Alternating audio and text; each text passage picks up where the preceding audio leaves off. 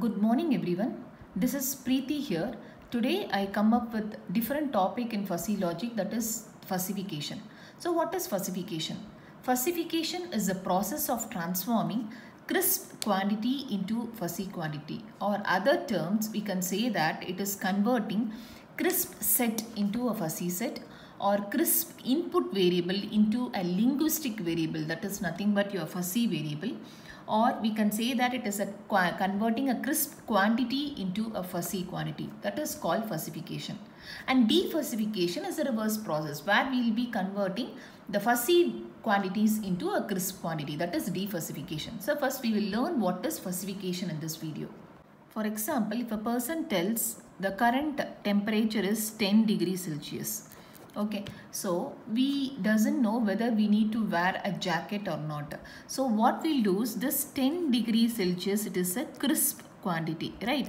It is a crisp quantity. We need to convert this crisp quantity into a fuzzy value. So what is fuzzy value? That is linguistic variable. It is called as linguistic variable linguistic variable. So when we are converting this we need to classify whether it is cool or warm okay so we need to classify the temperature based on this temperature. We need to classify whether it is cool or warm. Suppose if it is cool then we need to wear a jacket. So what is the help of what is the help of fuzzification it is converting all the accurate values into a fuzzy values which will be very easier to make decision. This is called fuzzification and defuzzification is a reverse process where we will be converting again this fuzzy value into the crisp value. Okay there are several ways to assign membership values to the fuzzy variables. After converting this crisp value into fuzzy values, we need to draw the membership function to derive the degree of truthness, degree of fuzziness in this. So for deriving, for drawing the membership function, we need various ways like intuition method, inference, rank ordering, angular fuzzy set, neural networks, genetic algorithm and inductive reasoning. So we will see one by one. So the first method is intuition method. So this method needs no introduction. So this method is derived based on the common intelligence of human okay. So it is the capacity of the human to develop the knowledge that is to develop membership function on basis of their own intelligence. So for example if we we have three we have got four fuzzy variables like cold cool warm and hot. So if we need to draw the membership function for all these fuzzy variables we can use any type of curves. So here i have used trapezoidal function for representing this cold and for cool and warm i have used triangular membership function. Okay so here i have given i have classified that. Suppose if the temperature is between 0 to 20 i'm classifying it as cold. And if the temperature is between cool that is between 10 and 40 i'm classifying it as cool. And between 20 to 60 it is warm. And above 40 i'm classifying it as hot. So based on common intelligence of the human we are going to draw the membership function and for every fuzzy variable we need to draw a single curve. So this method is called as intuition method. Okay. So if any problem is given for you, the first is we need to do the fuzzification like converting that crisp value into fuzzy variable. After converting the fuzzy variable, we can draw this membership function on our own. Second method is inference method. In inference method, we use knowledge to perform this reasoning. So here we know uh, the some several geometrical shapes. So using the geometrical shapes, we are going to draw the uh, membership functions and we need to find out the membership values. So we know several membership functions like triangular membership function like this, trapezoidal, bell shaped and then we have Gaussian membership function. There are several membership function but in this inference method, we are going to take this triangle alone. So here we can consider ABC be the interior angles of a triangle. So if we have a triangle, so we'll take this A, B, C. There are they are the interior angles of a triangle, and there should be a condition such that this A value should be greater than B, and B should be greater than C, and C, C should be greater than zero. And when you add all the angles, the angle the that is the sum should be 180 degree. So this is a condition should be satisfied. So when this condition satisfies, we can able to derive five types of triangle using this inference method. The first one is R that is approximately right angle triangle. Next is I that is approximately isosceles triangle. Then E represent approximately equilateral triangle and IR represent it is isosceles isosceles right angle triangle and T represent other types of triangle. So we can able to derive five types of triangle based on this inference method and for each triangle we are going to find out the membership value and as well as the function. Okay. First we'll take the right angle triangle, approximate right angle triangle.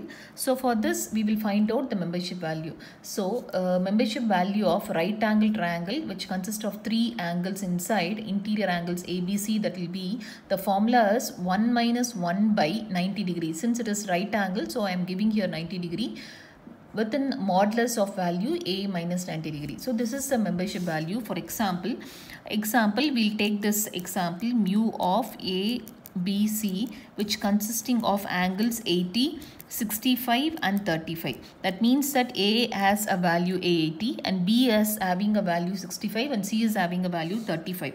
So we need to find out the membership values.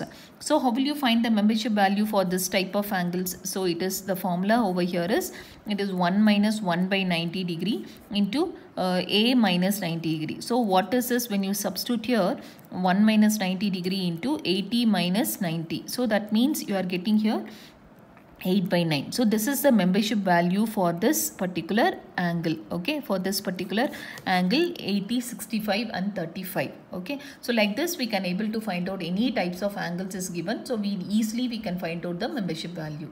Can we move on to the next angle that is approximate isosceles triangle. The membership value of approximate isosceles triangle so the formula for this is 1 minus 1 by 60 into minimum of a minus b comma b minus c. So this is the formula. So for example, we take the same example here. 80 65 and 35 so if we have to use this particular isosceles triangle to find out this membership value so what is this formula? 1 minus 1 by 60 into minimum of so what is a here? A is 80 and b is 65 and c is 35 that will be 80 minus 65 comma 65 minus 35 so we'll get 1 minus 1 by 60 into minimum of 15 comma 30 okay? So it is 1 minus 1 by 60 into minimum value is 15 so the answer you will get is 3 by 4 so for this membership value for this particular triangle you are getting the value called 3 by 4 so coming to the third angle equilateral triangle the membership value uh, membership value for the equilateral triangle is 1 minus 1 by 180 into the modulus of A minus C. So we will take this angle 80, 65 and 35. So when you substitute here, we will get 1 by 180 degree into A is 80 degree minus 35 degree. So that is 1 minus 180 into 45 degree so when you cancel this, you will get the uh, value called 3 by 4. So the membership value for this equilateral triangle is 3 by 4. Suppose if you consider this example, okay. The fourth triangle is isosceles right angle triangle. So it we can represent as IR. So it is nothing but I intersection R. So we will find out the membership value for this isosceles right angle triangle that is IR of A comma B comma C will be minimum of this membership value of this isosceles triangle comma membership value of right angle triangle. So we will take the example the same example. So for example so we need to find out this membership value for this isosceles triangle which is having 80, 65 and 35 okay so what is this membership value for this it is nothing but minimum of mu i comma mu r right? So what is mu i? So we have already found out this mu i right? So we have found out this membership value for approximate isosceles triangle. For this angle the value is 3 by 4 so we will substitute here 3 by 4 minimum of 3 by 4 and what is the membership value for right angle triangle? So right angle triangle so what is the membership value for right angle triangle for the same triangle we have got the value called 8 by 9 so we'll substitute here 8 by 9 So what will you get? 8 by 9. So which is the smallest value? 3 by 4. So the membership value for isosceles right angle triangle is 3 by 4. This is how you will find out this membership value. Okay. So we have found out the membership value for four angles, four triangles. One is isosceles right angle triangle, equilateral triangle, right angle triangle and then isosceles triangle. Now we move on to the next uh, last type membership value for other angles. Okay. So moving on to the last type of triangle that is membership value for other types of triangle. This is calculated by using this formula. Other types of triangle is formed by taking an union between all the triangles that is right angle, isosceles and E represent equilateral and taking a complement. So by, uh, by removing this complement, moving this complement inside we will get R complement. This union become intersection. Intersection I uh, complement then intersection E complement. So this is a formula for membership value for other types of triangle. So we will substitute this uh, values. We will try to find out the membership value for the same example what we have taken that is 80, 65 and 35. So we have already found out the membership value for right angle triangle is 8 by 9. So we have found out here right? 8 by 9. For isosceles triangle we have got here 3 by 4 and for equilateral triangle equilateral triangle we have got here 3 by 4 so i am substituting here. So what is this mu rc that is nothing but 1 minus 1 by 8 by 9 that is 1 minus a uh, 1 minus 8 by 9 sorry 1 minus 8 by 9 that is 1 by 9 and mu ic will be 1 minus 3 by 4 that is nothing but 1 by 4 and uh, mu ec will be 1 minus 3 by 4 again you'll get 1 by 4 okay. So now we will substitute here. So what is the membership value for other triangles? It is RC intersection IC intersection EC so when you substitute you will get 1 by 9 intersection 1 by 4 intersection 1 by 4 so what it is nothing but minimum. Minimum of 1 by 9 intersection means minimum. So 1 by 9 comma 1 by 4 comma 1 by 4 so what is the minimum value here? 1 by 4 so the membership value for other types of triangle it is 1 by 4 this is how you have to calculate the value. So whenever any triangle is given for you you need to check whether a is greater than b b is greater than c. After checking this and you can easily use this formula to find out the membership values. Moving on to the next concept that is rank ordering. In rank ordering, we will be assigning membership values based on the rank process. So here, uh, the membership that is like uh, the comparison is ba based, comparison is made based on the pairwise preferences. So for example, I have given you a set of five cars, BMW, Benz, Jaguar, Audi and Rolls-Royce. So here the, the questionnaire is given to some set of persons and pairwise preferences is made. Among the preferences, we will be deciding which will be given the highest rank. So for example, here I have given the uh, survey, I have done the survey among 991 persons and uh, according to this the table has been drawn. So here BMW, comparing this BMW with other cars like Benz, uh, Jaguar, Audi and Rolls-Royce. By BMW, they have opted for 51 persons, they have opted for BMW and 54 uh, they have opted between BMW and Jaguar and when we compare with BMW and Audi 52 has been opted and between BMW and Rolls-Royce 67 has been opted. So I need to add all this things. So I'm, get, I'm getting the total as 224. Likewise, I'm going to compare all the cars with other cars pairwise. Like Benz will be compared with BMW, Jaguar, Audi and Rolls-Royce. And the number of persons who have been opted will be given over here. Likewise, Jaguar, Audi and Rolls-Royce is be done. And after doing this, we will be adding all this in row wise manner. So I'm getting the total as 224, 237, 175, 209 and 146. When we add this, we will get the total number of persons I, I have been surveyed that is 991 now I can easily find out the percentage.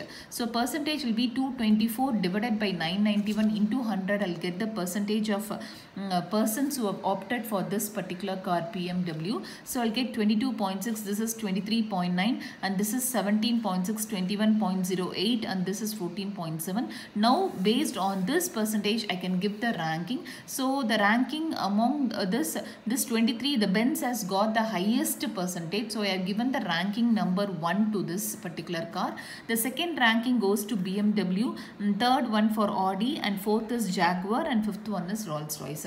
So I have got the ranking number now. So based on this I can able to draw the membership function. So here I have simply opted a single dot for this. So when we compare this, this all the cars, when we draw the cars in x-axis, and when uh, we take the x-axis as cars and y-axis we will get the membership values. So i am uh, bmw so the percentage is 22.6 percentage. So i am giving here the value over here. And based on this the ranking number is also being done so this is easier way to uh, get the membership values based on the pairwise preferences. So this concept is called as rank ordering. So there are various ways to assign membership values for the fuzzy variables. This one among the concept is rank ordering where we will be taking uh, we will be considering all the uh, types of uh, it may be it is not that it is uh, we can done the, this ranking concept only with this cars we can also take the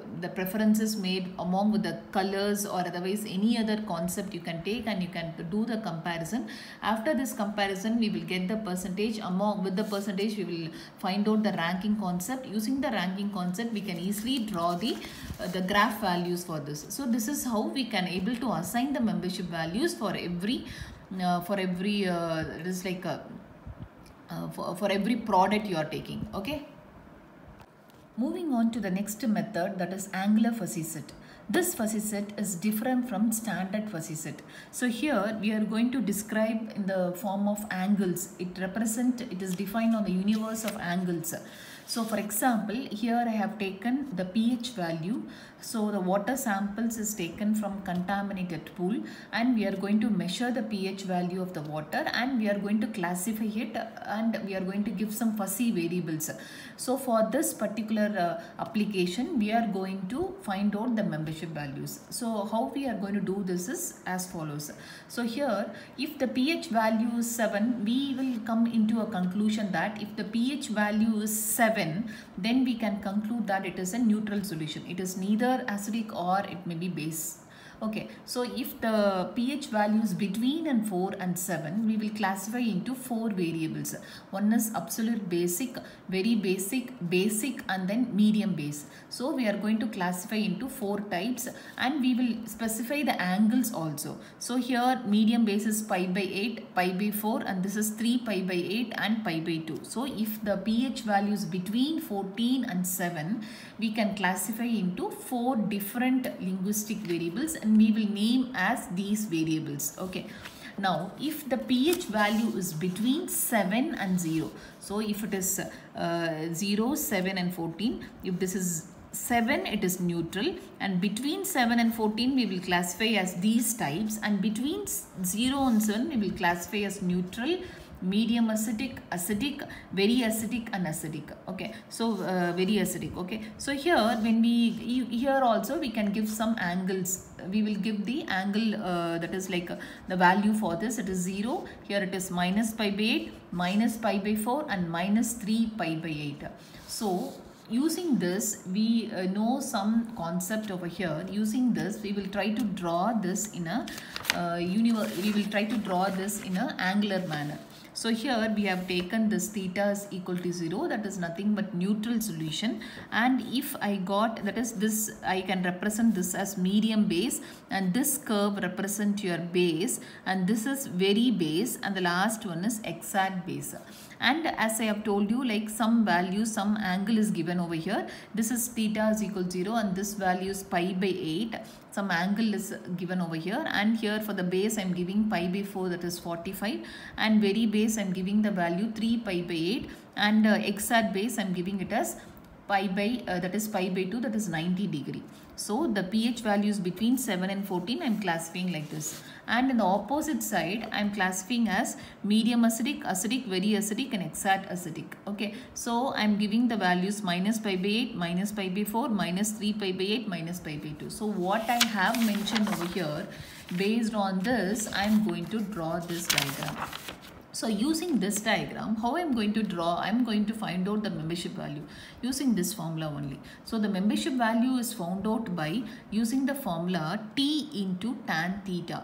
So the T value, this T into tan theta, this T represent horizontal projection, okay, on this particular curve and then this theta represent the angle, it uh, coincides, it, uh, it uh, that is like angle it makes with this theta so it is nothing but t into tan theta will give you the membership value. So using this membership value we can able to convert that is this is the membership. Using this we can able to assign some now we can draw the graph that is like we can able to draw the graph so uh, the, this is how we will assign membership value for any application we have taken using Angular fuzzy set. Okay. So in Angular fuzzy set what we have done. So any uh, application can be taken. So we will uh, here I have taken a contaminated pool. I want to classify it to the pH. I'm going to find out the pH value of all the of, of the water samples and then classifying it as neutral solution or it may be uh, some uh, types or it is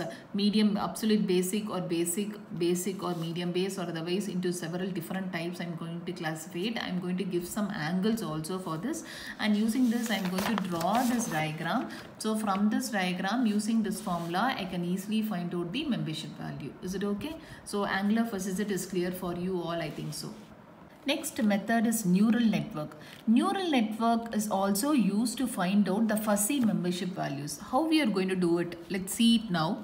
So consider that there is a space over here where we have data points. Okay, so the data points has been scattered and now we try to classify the data points into three classes like RA, RB and RC. Suppose we can classify as red ball. Suppose you have so many balls in the room. You want to classify into red ball you want to classify it separately all the red balls together all the yellow balls together all the blue balls together. Likewise here we have taken so many data points. Data points are scattered over the space. So we need to classify to which uh, region it belongs to whether it belongs to a region RA or RB or RC. So how we are going to use this neural network method to find out the fuzzy membership values. So for example what we can do is that we can give the data point suppose what is what mean by data point data point is nothing but x value and y value it will have two points x point x x and y coordinate right? So that value that coordinate values we are going to give as an input to this neural network. And using this neural network it will give you an output. So output will tell you three values. That means it represent whether it belongs to RA or otherwise it belongs to RB or RC that means if this value 001 it means this this data point it belongs to the region RC if the value is 100, that means that this particular data point belongs to RA. So wherever you have one and that that particular region only this data point will belong. This is how you will classify. So there are two things you have to do it in neural networks. One you need to train the network. After training the network only you can test it. So for every suppose for example you know that some data point you'll take from this region. Suppose I'm taking 0.6 and 0.8. Some data points you'll take and you give as an input to this neural network and you'll train it, train the neural network such that if this data point you get the output should be this it belongs to here I've given here the output it belongs to the RB that means it belongs to a region RB so if the first data point is given like this 0.6 and 0.8 it belongs to the region RB for the second point 0.8 and 0.1 it belongs to the region RC. So I'm training the network. I'm storing all the values inside the neural network. Okay, this is called training. And what is testing? Testing is nothing but if new data point comes, if the data point which is not trained, if any new data point comes, the neural network will go and compare it with the available database and it will give you the most approximate value output. That is called as this testing the network. So using this, we can get the values like this. It may be, suppose for example, I'm getting, I'm giving the data point, new data point like 0.4 and 0.4. I'm getting the values 0.1, 0.8, 0.1. It means that these are the fuzzy membership values. I need the membership values between 0 and 1. So I have got this. So this is how you will be able to find out the membership values from the, using this neural network concept. Okay. I think you all understood this. Uh, here we will not be explaining all these problems over here but we will be telling you how you will be using this neural network. You will be finding out the membership values. The one thing is that first you need to train the network. So during training all the data points which you have in your uh, space it will be given and you will be training it. Once the training is done you can go for testing. So testing you you will be tested with new set of data sets. So that it will compare with the available data set it will give you the new set of values. So these values are nothing but fuzzy membership values. Okay so moving on to the next method that is genetic algorithm. So using this genetic algorithm also we can easily find out the fuzzy membership values. So this genetic algorithm is based on the Darwin's theory of evolution that is survival of the fittest. So how we are going to find out this fuzzy membership values is uh, here the membership function. So there are several membership functions we can uh, we can take. So among that the chosen membership function for this we will try to find out the bit strings. We will try to code it into bit strings that will be in ones or zeros and we will concatenate all the bit strings together and we will apply some fitness function. Fitness function plays a major role in this genetic algorithm. So we will apply this fitness function to this every membership function and after which we will uh, try to uh, find this this uh, this process will be repeated until that some convergence is reached. Like there will be we will be following so many set of generations until this convergence is reached. So uh, when when we have achieved this convergence we will stop proceeding it further and we will find out the the last uh, available membership values. This is how we will be finding out the membership values using genetic algorithm. So in my videos I have not explained this genetic algorithm concept. So when I'm explaining this concept, you will be you will be understanding more about this genetic algorithm. Okay. Next method is inductive reasoning. So what is inductive reasoning? This is based on a decision you will take through a subconscious process. So for example, you are going you are going outside and you are going to check the sky it is sunny. So it is you think that you need not need any umbrella. So this assumption is based on the past sunny days. So for example so in your past experience you have experienced that if the sky looks sunny need not have need not need not have to carry the umbrella. So this type of thought process you will get through your past experience. Based on this you will derive a conclusion. This process is called as inductive reasoning so inductive reasoning is a method of logical thinking that combines observations with experimental information to reach a conclusion. That is called inductive reasoning okay? So the inductive reasoning it's uh, nothing but it is a method of logical thinking which combines observation plus experimental information to derive a conclusion so you will derive a conclusion based on the existing knowledge you have experienced on your past. That is how you will derive a conclusion. This set of using this concept if you try to derive a membership values then it is called as uh, then it is called inductive reasoning method. So in this video we have seen so many seven methods we have I've explained to you. So through which you can able to find out the fuzzy membership values. So the one is the first one is uh, that is like inference method and intuition method, inference method and I have explained to you about rank ordering method, angular fuzzy set method, neural networks method, genetic algorithm method and the last is inductive reasoning method. So I think this video will be very useful for you to find out the fuzzy membership values. Thank you all for watching.